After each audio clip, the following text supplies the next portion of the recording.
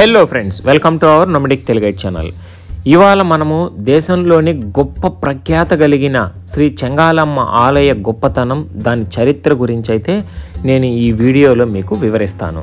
ఈ ఆలయం ఒకప్పటి నెల్లూరు జిల్లా ప్రస్తుతం తిరుపతి జిల్లాలోని సూలూరుపేట మండలంలో కాలంగి నది ఒడ్డున అయితే ఉంది. మీలో ఎంతమందికి తెలుసు? ఇస్రోలో రాకెట్ లాంచ్ చేసే ముందు ముందుగా ఒక నమూనా రాకెట్ని తీసుకొచ్చి చెంగాలమ్మ టెంపుల్లో పూజలు అందుకున్న తరువాతే ఆ రాకెట్ని అయితే లాంచ్ చేసేవాళ్ళు. అంతటి పవర్ఫుల్ టెంపుల్ అయిన ఇవాళ ఈ చెంగాలమ్మ ఆలయపు విశేషాల గురించి అయితే ఈ వ్లాగ్లో తెలుసుకుందాం. పూర్వం అంటే కొన్ని శతాబ్దాల క్రితం ఈ ఊరిని శుభగిరి అని పిలిచేవాళ్ళంట. ఇదొక చిన్న గొల్లపల్లె. ఇక్కడ ఒకసారి ఈ పశువు కాపరులు ఆ పశువులను తోలుకొని ఆ కాలంగి నది ఒడ్డు దగ్గరికి అయితే వెళ్ళేవాళ్ళంట. ఒకానొక రోజు ఆ పశువుల కాపరులు ఉంటారు కదా వాళ్ళ పిల్లలు ఈ కాలంగి నది ఒడ్డున ఆడుకుంటూ ఆ నదిలో అయితే పడిపోయారంట. సో ఇంతలోనే అనుకోకుండా ఒక సుడిగుండం లాంటిది వచ్చి ఆ పిల్లోళ్ళందరూ అందులో చిక్కుకుపోయారు. ఒక ఇద్దరు పిల్లలు మాత్రం ఎలాగోలా బయటపడి అక్కడున్న పశువుల కాపరులకైతే చెప్పారంట. ఈ విధంగా ఒక అతను మాత్రం ఆ సుడిగుండంలోనే మాటుకునేశాడు.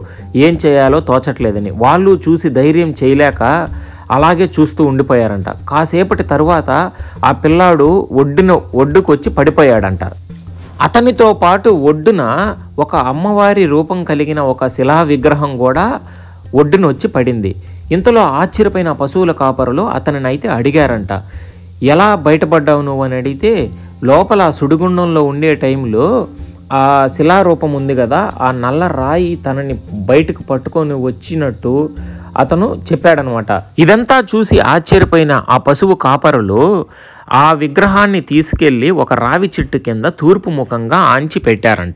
మరుసటి రోజు ఆ పశువుల కాపరులు గ్రామస్తులతో కలిసి ఆ ప్లేస్ దగ్గరకైతే వచ్చారంట.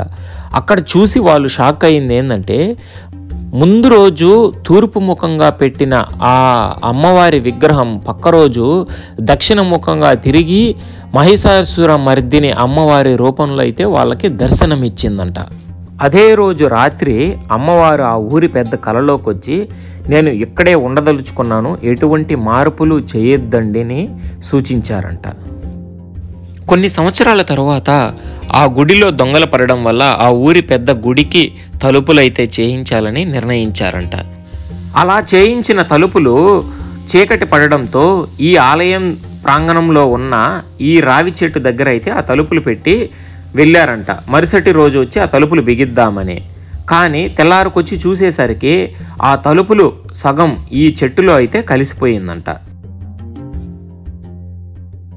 అదే రోజు రాత్రి ఆ ఊరి పెద్ద కలలో అమ్మవారు దర్శనమిచ్చి తనకు తన భక్తులకి ఎలాంటి అడ్డు ఉండకూడదు.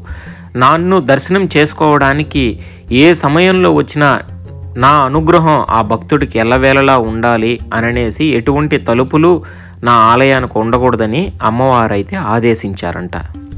ఈ రావి చెట్టులో మరో విశిష్టత ఏంటంటే అమ్మవారి రూపం కలిగినట్టు ఈ రావి చెట్టులో అనేక రూపాలు కనబడతాయి. ఇంతటి మహిమ కలిగిన ఈ గొప్ప ఆలయాన్ని మీరు వీలైనంత తొందరగా దర్శించుకోండి. ఇక్కడ కోరుకోవాలే కానీ ఖచ్చితంగా మీరు కోరిన కోరికలైతే తప్పకుండా నెరవేరుతాయి.